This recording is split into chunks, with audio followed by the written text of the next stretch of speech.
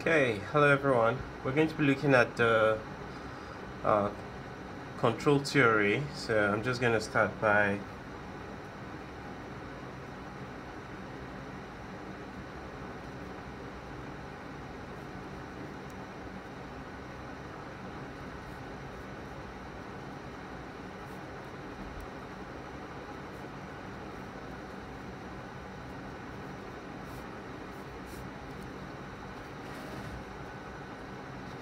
So the concept of stability.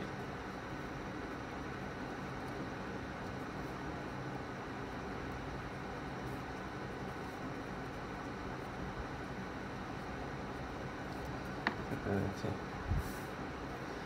Okay, consider um, cones. Consider the following cones. You had a cone that looked like this and you had another cone that is on its apex. And then you have another cone that is lying horizontally. You will consider that this cone is stable. While this one is unstable as it could fall off once it um, once the center of gravity shifts from this axis and then you can say this is in its equilibrium state. So no matter how you roll it it's going to remain in that state. We're going to make an assumption that we'll be dealing with um, linear time invariant systems. So linear time invariant systems uh, bracket LTIS. Okay. Now, a system is considered stable if a small change in system input or in initial condition or in a system parameter does not result in a large change in system output. Now I'm going to give you a few conditions that are required for stability. So it says stability conditions for linear time invariant systems. Um, we have one, the output is bounded when the system is excited by a bounded input. 2. The absence of the input, the output, tends towards zero, the equilibrium state of the system, irrespective of initial condition. This is known as its asymptotic stability. Now, I want you to bear in mind that stability of a system refers to its quality of being steady and not changing. In control engineering, almost every working system is designed to be stable. An unstable system obviously cannot perform the control tasks required of it satisfactorily. So, hence why we're looking at the concept of stability. However, I'm going to need to introduce you to a few concepts. The concept of poles and zeros. So, um, if you recall that the transfer function of a system uh, looks something like this. So consider the transfer function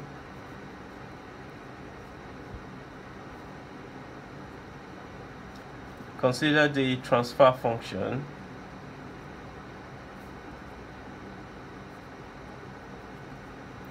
Ts is equals to g of s all over 1 plus g of s h of s.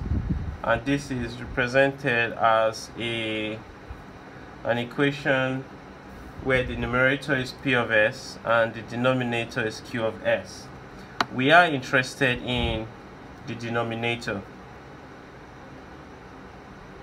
Because this tells us about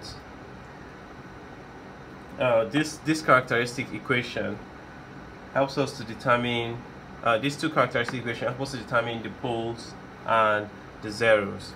So this will help us determine the poles. So in other words what will make this equation go to tend towards infinity and this is gives us the zeros of this equation. Therefore uh, q of s becomes equals to 1 plus g of s h of s. Alright?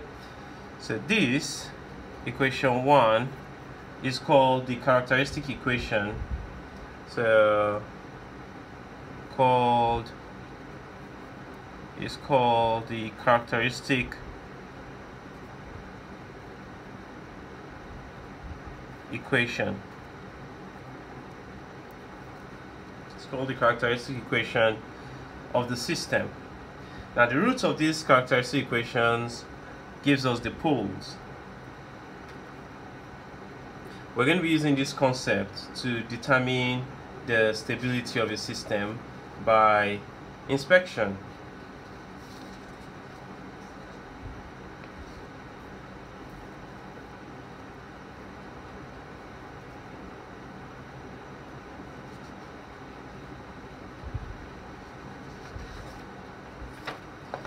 So let us look at an example.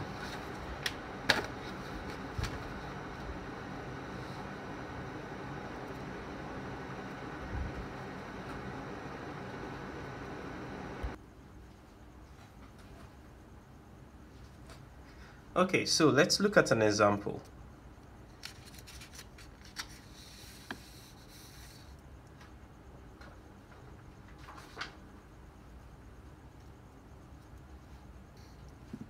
Find the roots of the characteristic equation.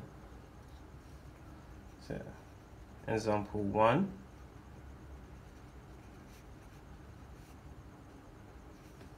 Example 1. Find the roots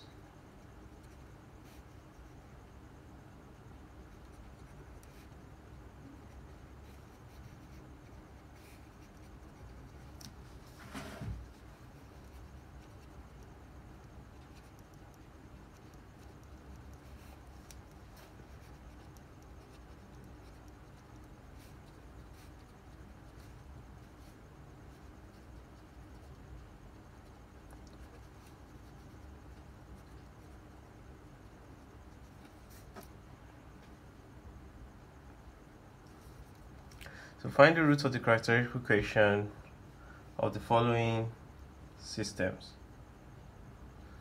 Find the roots of the characteristic equations for the following systems. Locate the roots in the S-plane and indicate the stability of each system. So locate the root in the S-plane and indicate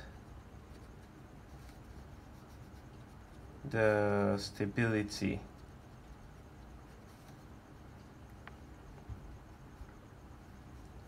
of each system. Okay, so um, the first system is t of s is equals to s plus 2 all over s squared minus 5s plus 6 and the second system we're going to be looking at is b. Says g of s h of s is equals to 1 all over s plus 3 bracket s plus 4 okay solution. So let's start with a. Now if you look at a a is actually the transfer function of a system. And this will imply t of s is equals to s plus 2 over s square s square minus 5s plus 6 so this is we can factorize the denominator so that we're to have um, I think that should be s minus 2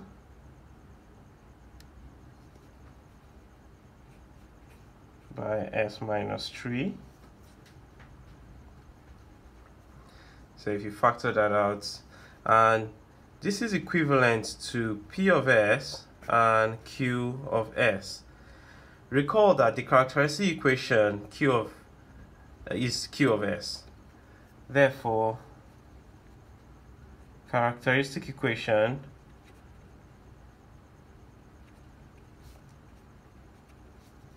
equation q of s is equals to s minus 2 s minus 3. Now we've been asked to locate the roots in the s-plane. Now the s-plane is basically your omega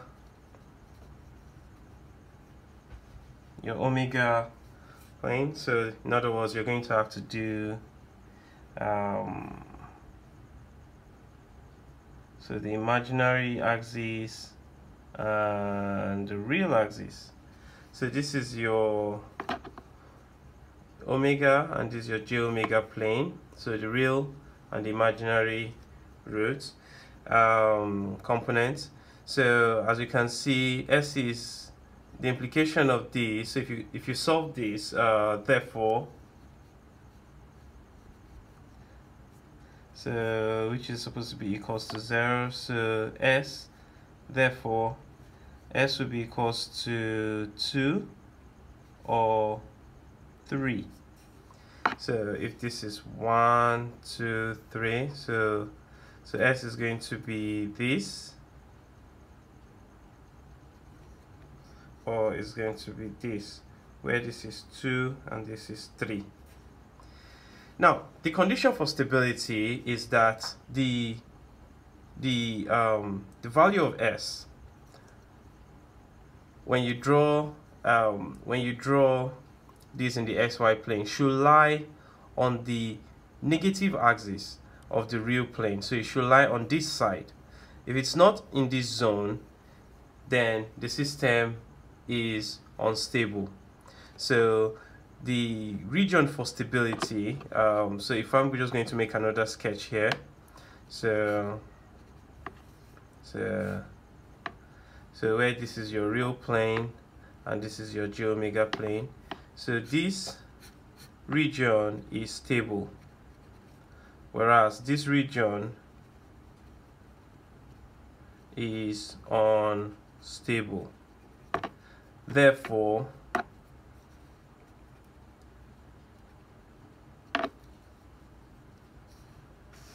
therefore um, we can conclude that this equation uh, therefore system is unstable. Therefore system is not just unstable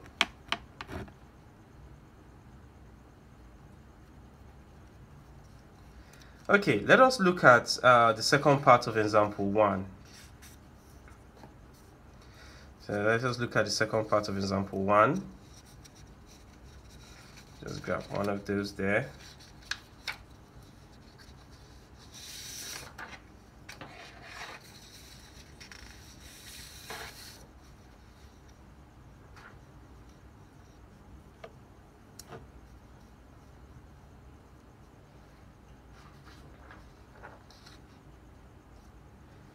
Okay, so B.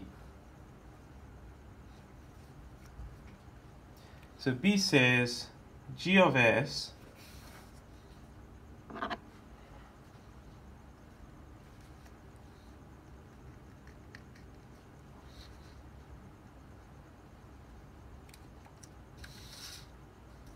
H of S is equals to 1 over s plus 3 and s plus 4. Now recall that q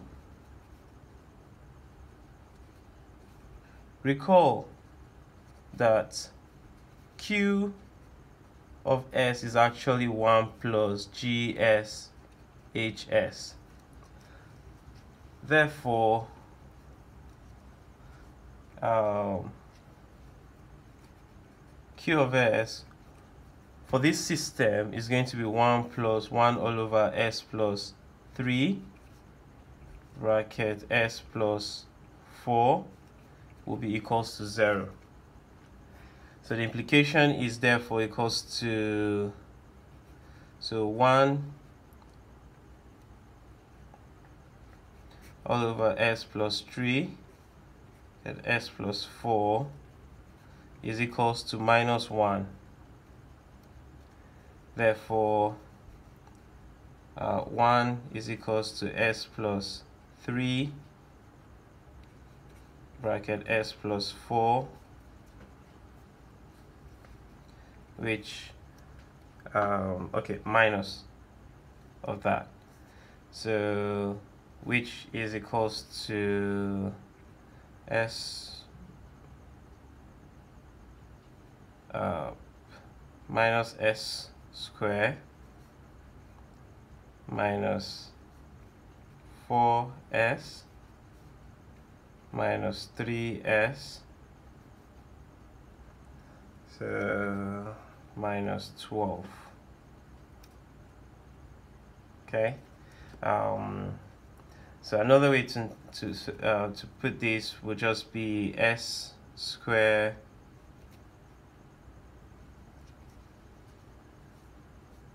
minus uh, s square plus 7s so minus 12 becomes plus then um, so plus 13 is equals to 0 so we can try to solve this um, by uh, punching that into a calculator so that you can get the roots straightforward um, or you can solve that using the um, almighty formula whichever method you want.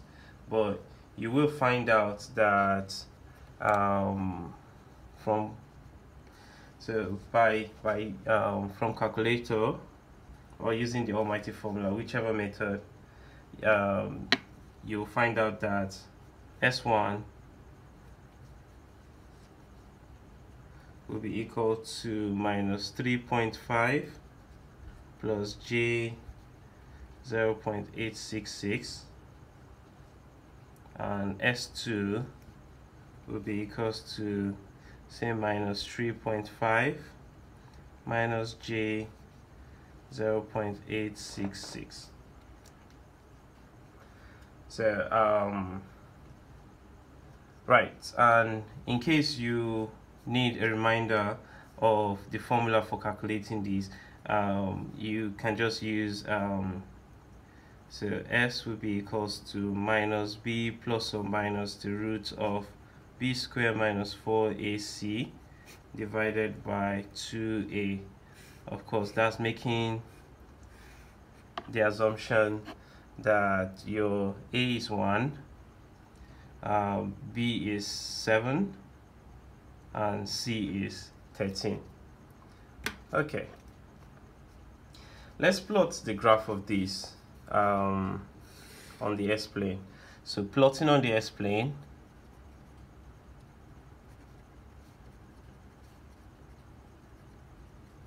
so plotting on the S-plane, so we need to draw our real and imaginary um, axis. So imaginary j omega axis and uh, so um, sigma and j omega.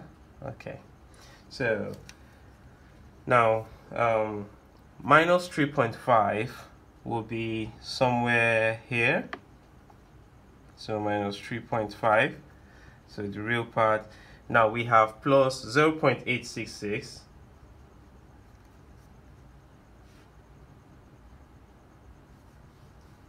and 0 0.866 so this would be on the real line somewhere up there.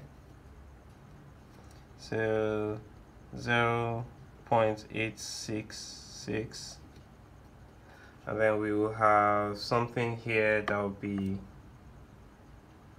minus minus 0.866 so um, you'll expect that this should join somewhere here. So we've got uh, first root up there. And then you've got your second root up there. Now, since the system, since the roots of the characteristic equation lie all lies on the left hand plane of the real axis the uh, the system is stable. So this system is stable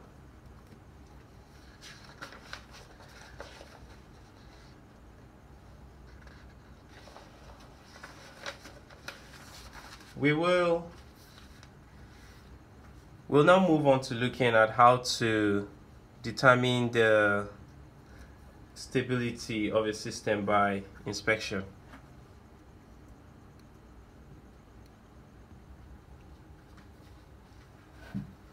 Okay, so we're going to be looking at stability by inspection. So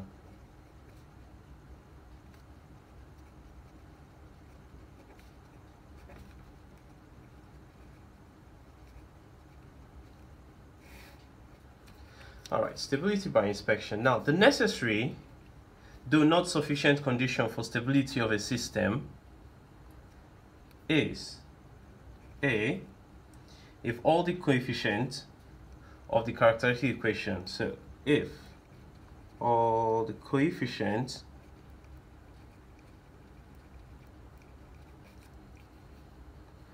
of the characteristic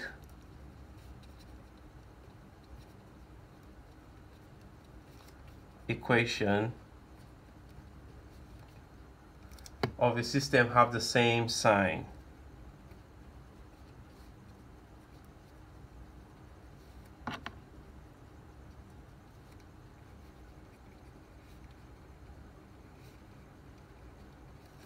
have the same sign and what that means is uh, we've got all positive or or negative. See, so and none is zero. In other words, no missing, no missing coefficients. and none is zero. So no missing coefficient.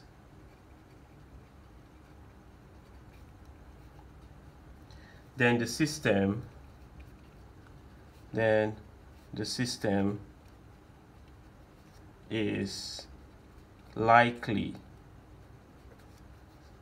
to be stable.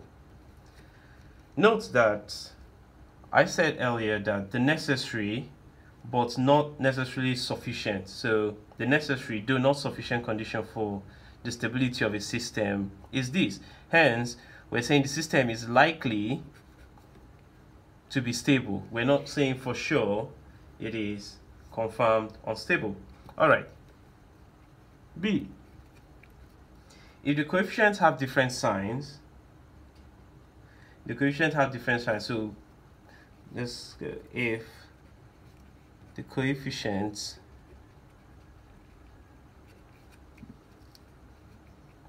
have different signs.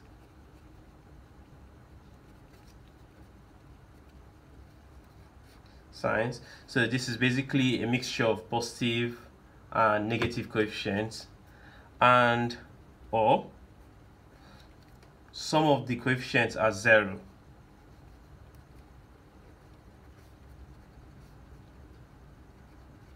So some of the coefficients uh, 0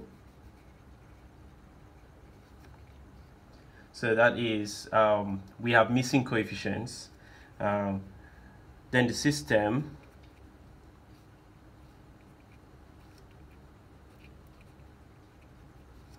is confirmed to be unstable. So we can be sure that a system is unstable by mere inspection, but we can only um, um, consider a system to be likely or probably stable um, by mere inspection. In order to be able to guarantee or um, confirm stability, we might need to try some other techniques which you will be introduced to in subsequent um, subsequent lectures. All right, so let us consider some examples. So example, uh, let's call this example 2. Okay, example 2. So we say, by mere inspection, by mere inspection, by mere inspection, comment on the stability of the system.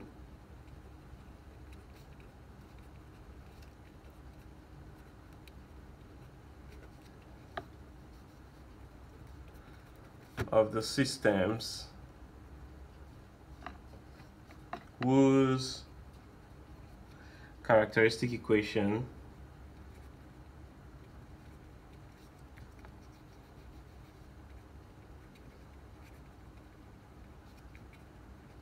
are given below.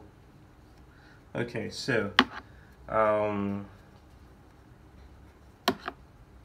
A we have s raised to the power of 6 plus 5 s raised to the power of 5 plus 3 s raised to the power of 3 plus s square plus 5 is equals to 0 so b um, we have s6 plus 5s raised to the power 5 plus s raised to the power 4 minus s raised to the power of 3 plus s squared minus 6s plus 5 is equals to 0. Okay, C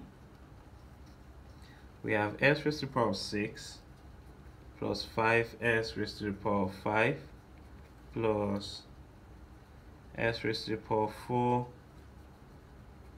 plus 3 s raised to the power of 3 plus s squared plus 6s plus 5 is equals to 0 and we have d minus s raised to the power 6 minus s raised to the power 5 minus s raised to the power 4 minus s raised to the power of 3 minus s raised to the power of 2 minus 6s minus 5 is equals to 0. Okay, let me try a different um, pen so that I can put the solutions in a different color. So, solution. So I'm just going to put the solution on this side. So, this system, the first system. So this system, you can consider this system, um, is this system stable or unstable? So remember, the condition for stability by inspection is that all the signs must be um, the same. So either they are all positive or they are all negative. Um, and secondly, um, there must be no missing term. So in other words, there's no term with which the coefficient is zero. So if you look at this, we've got six, we've got five, but the coefficient of s raised to the power of four is missing. And automatically that tells us that this system is unstable. And if you look again, you will notice that there's also the coefficient of s raised to the power of 1 is also missing. So, which means system, the system is unstable. Why is it unstable? We have missing coefficients. So missing S4 and S um, oh, oh, sorry. So um, missing x4 and s. That is their coefficients are 0 okay. If we look at the second one so we have 6 5 4 3 2 1 0 so um, all the terms are present. However there is a change in sign uh, for s raised to power 3 and there's a change in sign for minus 6 s raised to power 2 so again this system so the system is unstable so the system is unstable. So and this is sign change.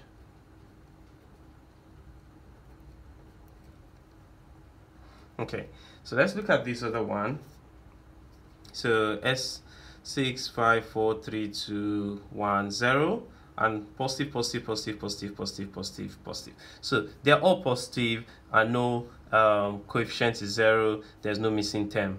So um, we can say again in this context the system this system the system is stable. And this final system again it has six five four three two one zero. All the terms are present all of them are negative. Um, the system is stable so and the reason why all the system is stable is because all coefficients have the same sign. All coefficients have the same sign.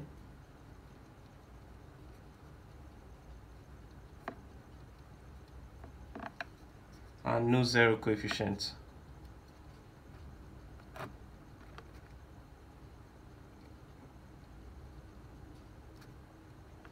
In other words, all the terms are present.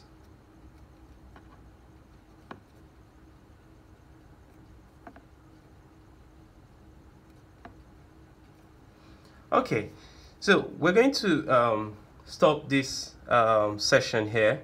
We'll continue with um, with Hurwitz stability criterion and we'll look at Routh stability criterion and also we um, will try and see if we can look at um, the determining stability of a system using um, root locus.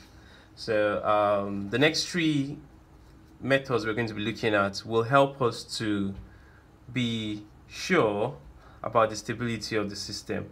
Actually, um, what we're supposed to say here is this system is, is likely likely stable. And so I can say this one too is likely stable. Now this is very important that we indicate that the system is likely stable. The reason is that um, we can't say for sure that the system is stable. So this likely stable likely stable applies. However the next three methods we're going to be looking at will help us to determine uh, for sure that the system is stable or not Thank you for watching. See you next time. Bye.